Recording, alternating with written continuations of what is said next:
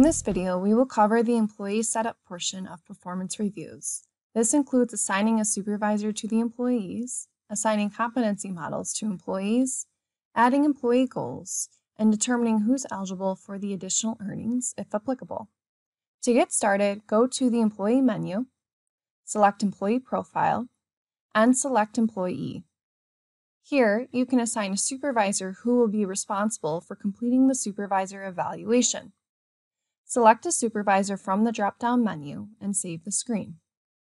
Note that this supervisor is considered the employee's direct supervisor for the review process. This field must be set up if your review should go to the employee's direct supervisor. The supervisor permission screen will not be used to determine the employee's direct supervisor for review purposes. Next, to assign the competency model, go to Employee, Performance, then Overview. The Overview tab identifies the competencies assigned to an employee. Core competencies will automatically be assigned to all employees. To assign the desired competency model, select the model from the drop-down menu list and click Save. If job profiles are used at your company, the competency model would automatically be assigned to any future new hire or employees whose job title changed in the future. This method would only apply to the competency model to employees whose job title is assigned after the model is assigned to the job profile. It is not retroactive. If your company has many employees, it's noteworthy that the Global Change screen in the Employee menu can be used to mass assign supervisors and competency models. To learn more about how to use this tool, see our video on global changes. It should also be noted that supervisors can assign competency models with the appropriate permissions. On the Employee Performance Review screen, you can see any reviews currently scheduled for that employee.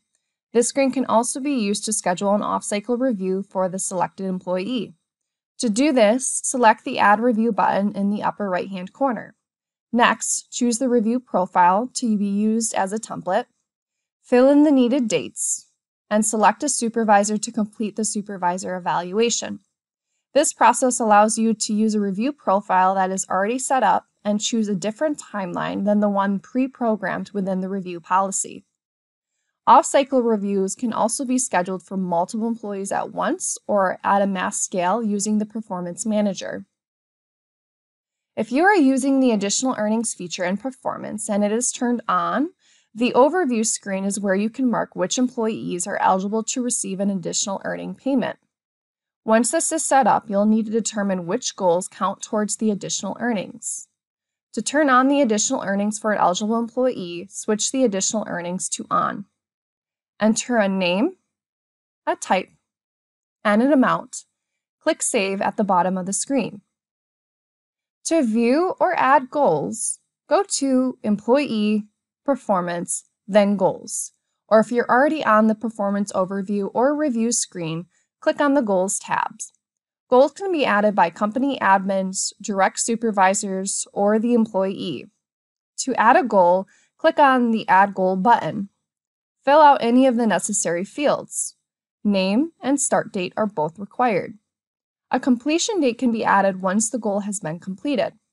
Setting the priority of the goal is optional, but when used, it can communicate the importance of a goal to an employee by flagging it either high, medium, or low. If the goal should be included in a review, select the Include in Review.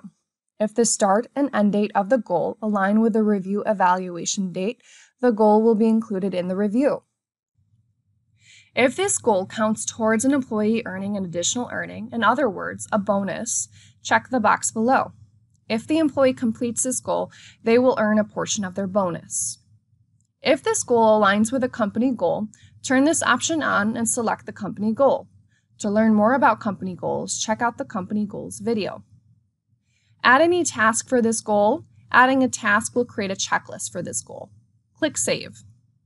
To view information on a goal, click on the card. You can add task, add comments, and mark a goal completed by putting in a completion date. Any comments or updates to the goal are logged in the activity log. To edit archive, or delete a goal, click on the ellipsis icon in the top right-hand corner. Once you've completed the steps in this video and previous, you can schedule your reviews. Check out the review policy video for more information on how to schedule your reviews.